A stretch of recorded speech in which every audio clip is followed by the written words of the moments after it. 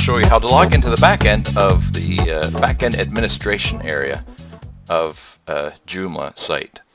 Uh, basically to find this area what you want to do is go to your domain. So in this case it's basicjoomla.com uh, for this site and type in forward slash administrator.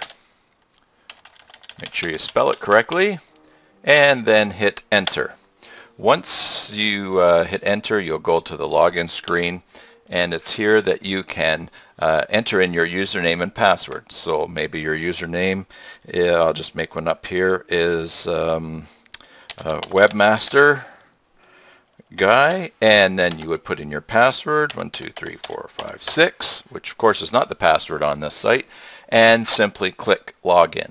Now I'm just going to blur this and put in my actual login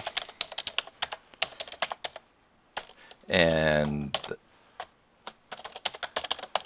that will allow me to click login and you will see that this takes us to the backend administrator area of Joomla and here you can find lots of uh, things to access on your site depending on what kind of access is set up for your account.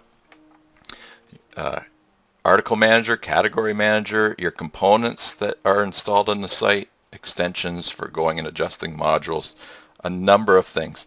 There are uh, some sites that are set up so that you log into the front end of the website where, where you're viewing the pages and uh, but there's many things available in the back end and sometimes only available in the back end. So if you need to get into the back end administrator area of your Joomla site, this is how to do it and uh, you'll have uh, access to everything that you're set up to have access for.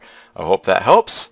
Uh, thanks for watching and uh, give the video a thumbs up or leave a comment if, if it helped. God bless.